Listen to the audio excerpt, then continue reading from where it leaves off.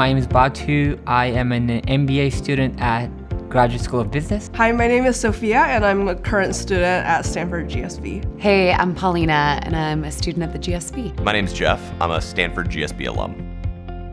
One of the main reasons why I came to the GSB was because of my own personal health challenges and my desire to become a social entrepreneur in my early 20s as I was working at a really fast-paced startup myself. I started getting daily migraine attacks and suddenly had this aha moment that I wanted to combine my passion for entrepreneurship with this huge problem that affects so many people in my family and across the world. I sort of had this spark in me, and I've come to the GSB basically to, to turn that spark into a roaring fire with the motto of GSB to uh, change lives, change organizations, and change the world.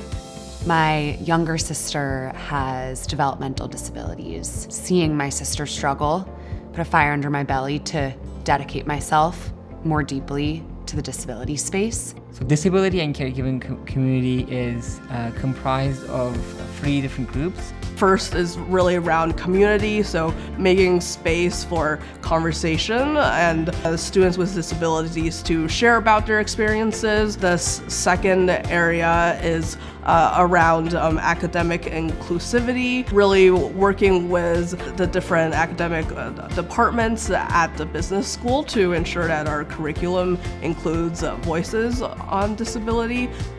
And the third is on education and awareness. And that's targeting everyone. So that's targeting people who are in or outside of the community, who are allies, who just want to learn more.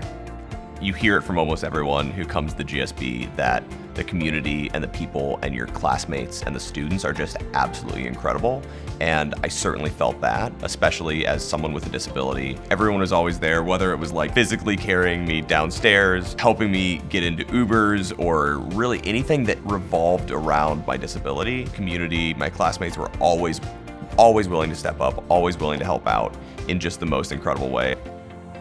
The GSB community made me feel very included from the beginning, starting from administration to classmate to faculty. My needs were always uh, met by uh, with different accommodations.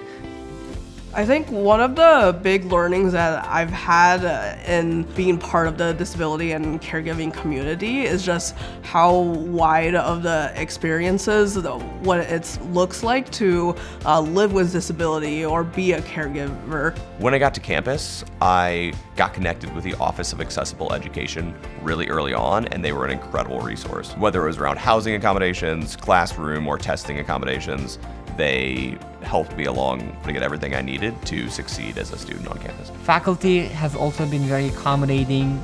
Sometimes we have material that's based on graphs. The Office of Accessible Education does a great job in, in describing those. Sometimes it's not enough. In those situations, the faculty would always invite me to, to their office, go through the material with me, and make sure that I understand uh, what we're doing in class.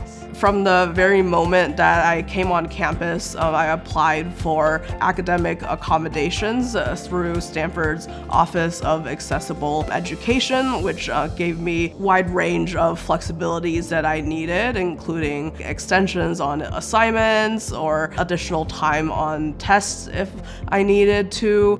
In terms of Office of Accessible Education, having them take care of accessibility of the course material allows me to spend more time in thinking about learning and social things and, and, creating community at GSB. I had like a pretty substantial laundry list of things that I needed to be able to do. Laundry, funny enough, was one of them. Being able to live in a place that is accessible, having an accessible room, having the classrooms be accessible. All of these things should not be taken for granted, and I found the GSB to be incredibly accessible I think what we're seeing broadly here at the GSB and more kind of culturally, all of a sudden there is more awareness, more intentionality around people who have disabilities. I think that we're feeling some really powerful tailwinds in this this upsurge and this kind of organic grassroots effort to if you might have an invisible disability like raise your hand and say, hey, like, I can connect with people who are similar to me.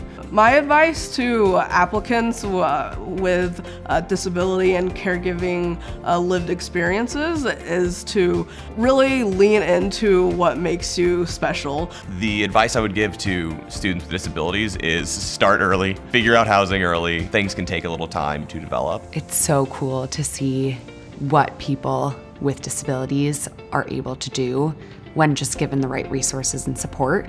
I think what really makes me proud of uh, being a member of the disability community is that um, all of us are so freaking resilient.